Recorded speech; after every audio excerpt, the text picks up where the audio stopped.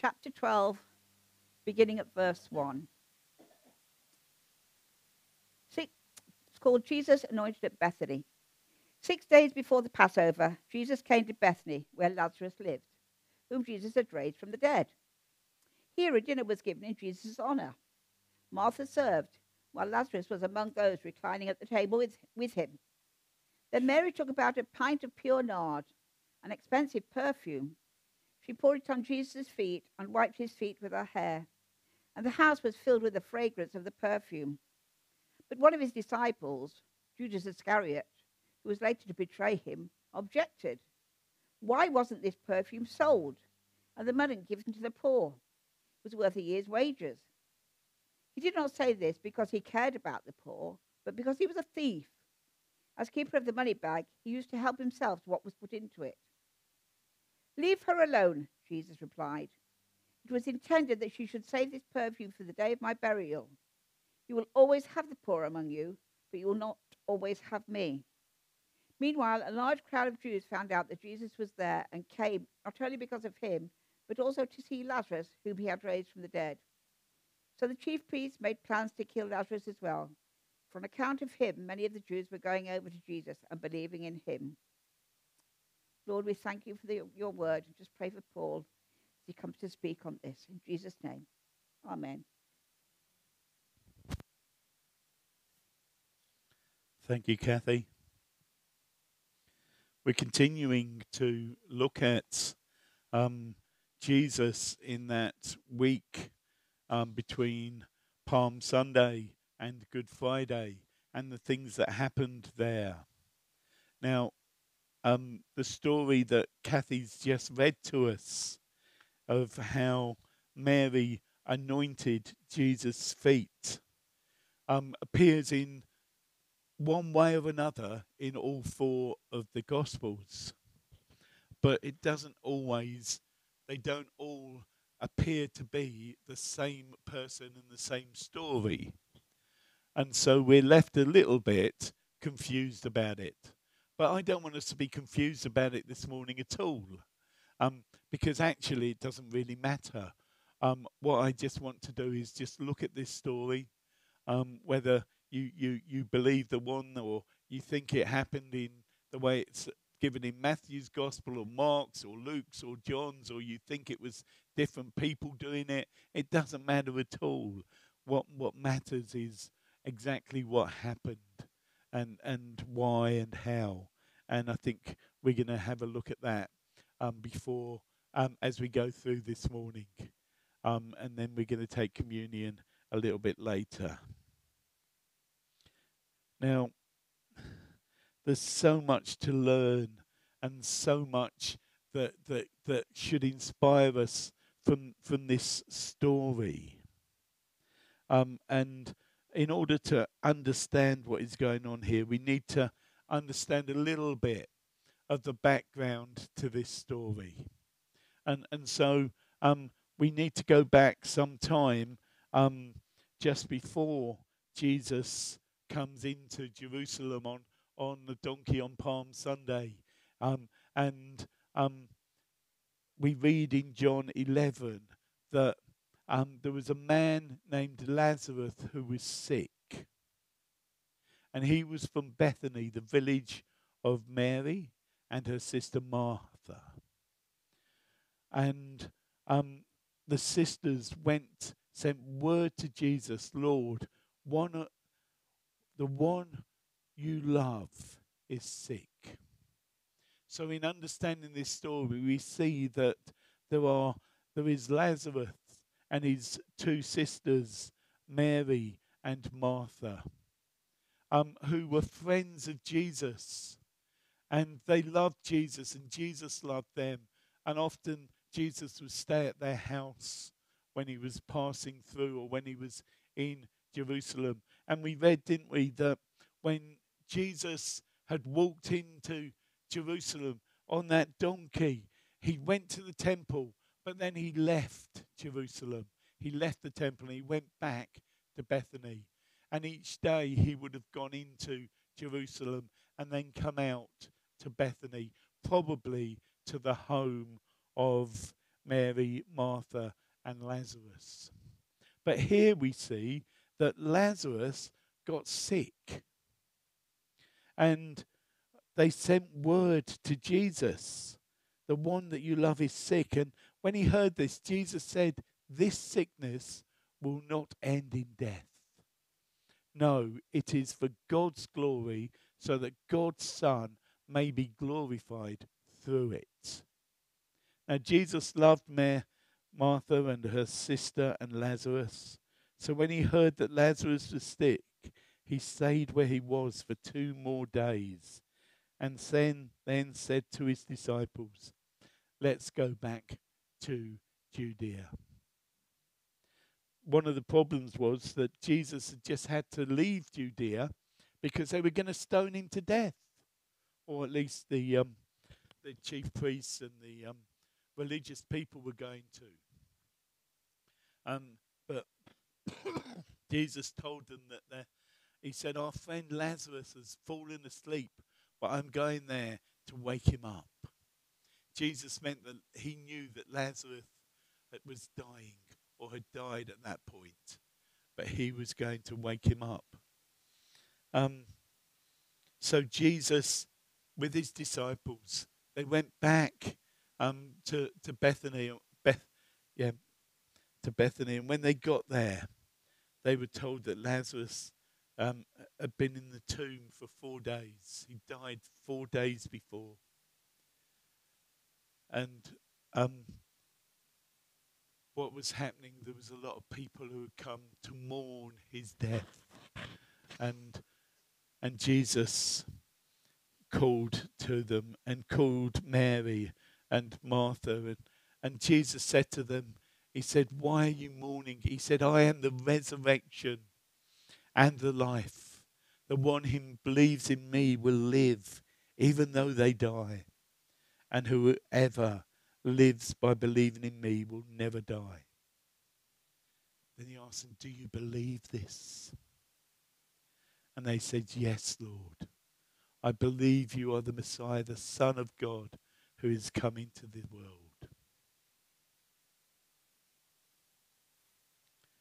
Jesus asked to be taken to the tomb where Lazarus had been laid.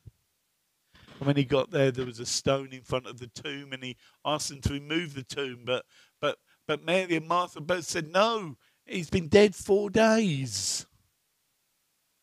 The odor will be terrible. But Jesus said, Do as I, I ask, remove the stone. And what happened was, Jesus called to his father. He called to his father. He said, Did I not tell you that you believe you will see the glory of God? So they took away the stone. And Jesus said, Father, I thank you that you've heard me. I know that you will always hear me. But I said this for the benefit of the people standing here, that they may believe that you sent me. When he had this, said this, Jesus called out in a loud voice. He called out, Lazarus, come out. The dead man came out, his hands and feet wrapped with strips of linen and a cloth around his face. Jesus said to them, Take off the grave clothes and let him go. Jesus did a great miracle in raising Lazarus from the dead. Mary and Martha, his sisters, they would have been so grateful. They would have been so pleased with what Jesus had done and all the people were there, would have seen this great miracle. And this is the background to the story that we're looking at today because we're a little bit later and Jesus has, has ridden into Jerusalem. Jesus is telling them all that is going to happen, that he's going to die on that cross. Jesus is about to be arrested. Jesus is about to be crucified. And each day is going back to Mary, Martha, and Lazarus' house. And they were putting on a special meal for him. They were putting on a meal in his honor.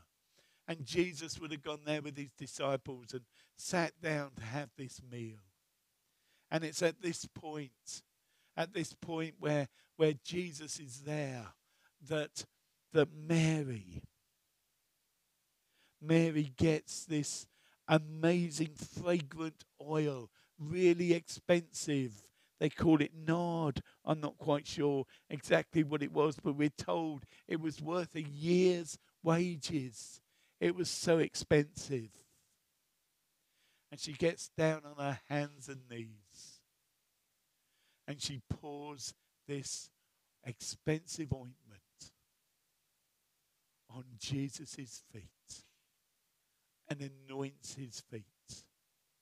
Not only does she do that, she washes his feet with her hair. She's just so pleased to be able to worship Jesus. She just wants to praise him. She just wants to thank him for all that he's done. Her brother is alive because of him. She is so filled with with amazing wonder and awe of who Jesus is that she just gets this fragrance. Maybe she knew what she was doing, or maybe she, she didn't really understand, but she was anointing Jesus. Now, Judas was there and he moaned about it. He said, What a waste! What a waste of this, this money that is. It could have been sold for year's wages. But Jesus replied, Leave her alone. It was intended that she should save this perfume for the day of my burial. You will always have the poor among you, but you will not always have me.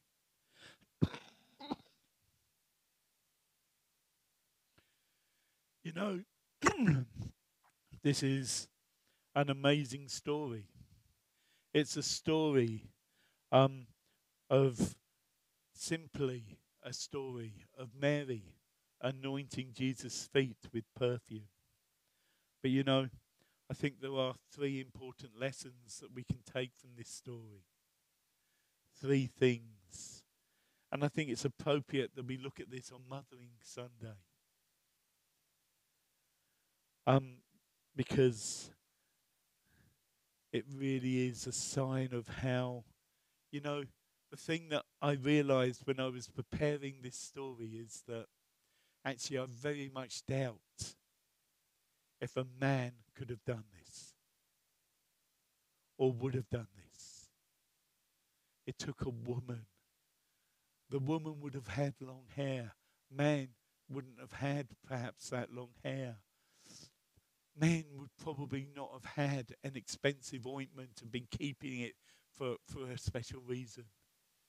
It took a lady, a woman, to be able to do this. But it teaches us that God, Jesus, there, the Son of God, is worthy of all of our worship in a way that we come, we need to bring all that we are. We talk about worshiping God, and often when we talk about worship, we, we talk about singing songs. But I think that this story teaches us that worship is so much more than singing songs. It is giving what we have, giving of ourselves in a way that just simply says, Here I am. I just want to worship God because of all that He does for, for me, all that He has done for me. I just want to worship you, God. I just want to bring you everything. I just want to give my whole self to you. I just want to come and worship you as an act of worship. This story of what Mary did shows us how we can come and just give humbly, accepting who Jesus is, accepting that God has everything and He gives so much to us. So, the first thing is that God is worthy of everything that we have. And when we worship Him, we need to give all that we can to Him, holding nothing back. Let us not hold back from worshipping our God. Let us worship Him. Let us really praise Him because He has done everything for us. And as we don't hold back in our worship, we can remember that God doesn't hold anything back from us. We can worship without holding back because God held nothing back when He sent His Son into this world. He gave everything that He had, He gave His only Son for us. God loves us completely and unconditionally. That means that God loves us despite whatever we do. God loves us. God loves us even though we are sinners. God loves us even though sometimes we, we get things wrong, we turn away from Him. God's love is not conditional on what we do. God's love for us is completely unconditional. God doesn't say, if you come to me, then I'll love you. God says, I love you, come to me.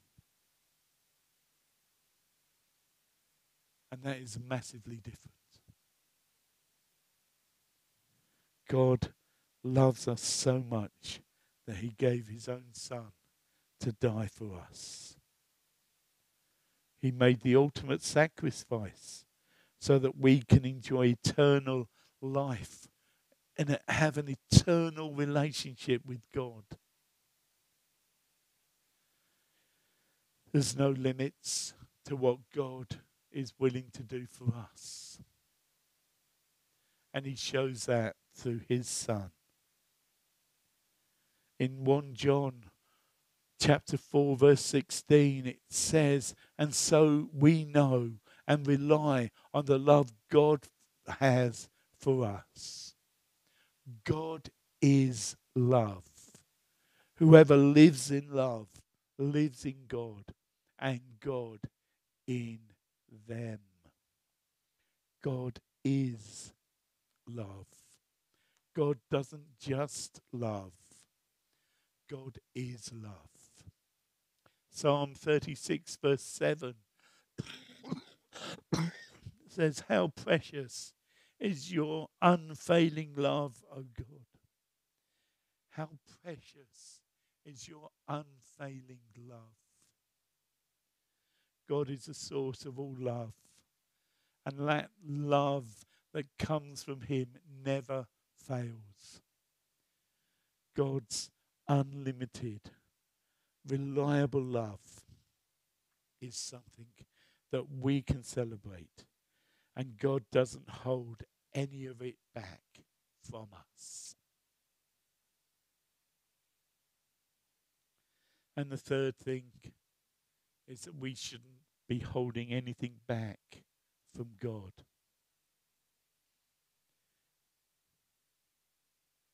Sometimes we hold back parts of what we are and what we have and what we do and who we are. But you know this this picture of Mary, she's giving everything in worship and praise to Jesus. We shouldn't either hold anything back.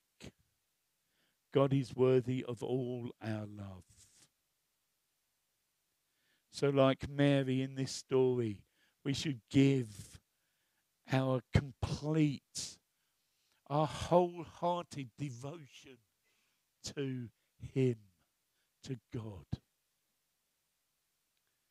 It tells us in Matthew chapter 22, verse 37, that the greatest commandment of all is to love the Lord your God with all your heart and with all your soul and with all your mind.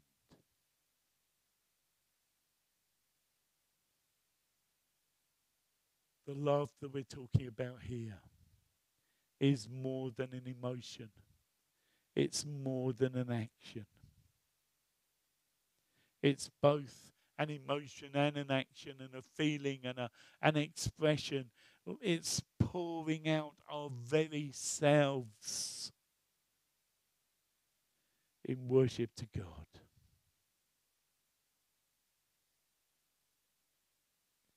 Just like Mary did. Let's give our very best to God.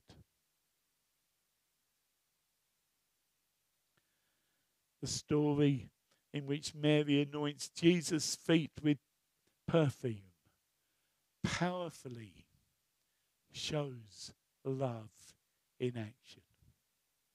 Mary had so much to love Jesus for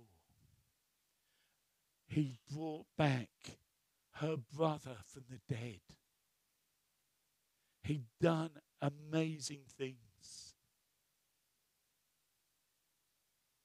And Mary expressed her thanks in praise and worship by getting down and washing his feet with her hair, with her tears, with this expensive perfume she was praising him with all that she had. Today, we can come and we can worship that same Jesus. And we need to come with all that we have because we know that Jesus held nothing back. Jesus was arrested. He was tortured. He was tried. Although he was innocent, he was found guilty. He was taken and crucified. The worst death they could find. Jesus suffered that. And he did that for us. Jesus died on that cross to take away the sins of the world. Jesus died on that cross so that each one of us could come through him into a relationship with our God, a relationship that lasts for eternity. For God so loved the world that whoever believes in him should not perish but have eternal life. Mary showed her thanks. She showed how grateful and how love, how she loved Jesus with this act of worship. Today, we can come and we can worship that same Jesus. And we need to come and give Him all that we have. We shouldn't hold anything back because He's held nothing back from us. He has given all that He can, including His life for us. Let's give Him all of our thanks and all of our praise.